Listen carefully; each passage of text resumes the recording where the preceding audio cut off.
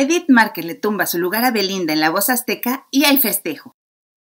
Luego de varias temporadas en la voz azteca, la televisora de la Jusco le puso punto final a su relación laboral con la cantante Belinda, y ahora su lugar será ocupado por la extimbiriche Edith Márquez, de quien se dice le vendrá a poner más prestigio a la emisión al tener una verdadera jueza que conoce de asuntos musicales y no solamente de escándalos y poses de aparador.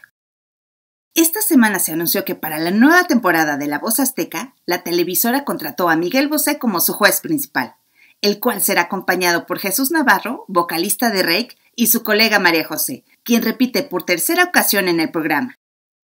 Adicionalmente se anunció que en la nueva temporada también se contará con la presencia de Edith Márquez, misma que reemplazará en sus tareas a Belinda como jueza, y lo que generó un gran revuelo al saberse la noticia, pues tal decisión generó opiniones encontradas en la red.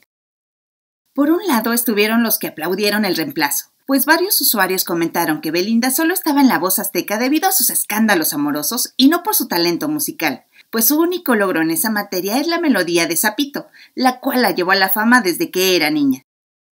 En sentido contrario, los fans de Belinda se quejaron ampliamente en las redes al saber que su cantante favorita ya no estará en la nueva temporada, y juraron que no la verán más, ya que la belly pop se había convertido en un rasgo distintivo del programa desde su inicio.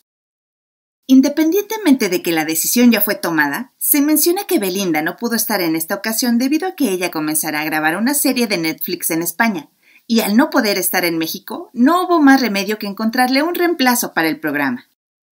Pero más allá de la versión oficial, en los pasillos de la televisora de igual forma corre la versión de que la producción de La Voz Azteca no quiso incrementarle su pago para que apareciera otra vez, y por ello Belinda prefirió irse a grabar su serie a España.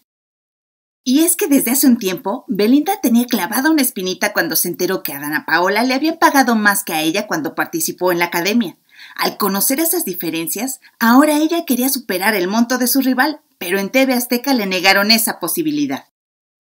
Cualquiera que haya sido el motivo, lo cierto es que Edith Márquez ahora tendrá la responsabilidad de dejar a Belinda en el olvido, situación que no le costará mucho trabajo, pues al menos como jueza tiene mucho más reconocimiento como cantante que la intérprete de dopamina.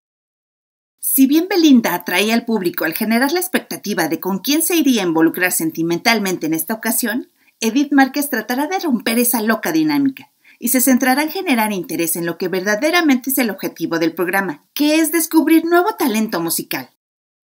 El tiempo dirá si Márquez en realidad podrá hacer desaparecer el sello escandaloso que le imprimió Belinda al programa, ya que con ayuda de Miguel Bosé, María José y Jesús Navarro conseguirán darle el prestigio musical al programa que la intérprete de Zapito nunca pudo darle con su presencia.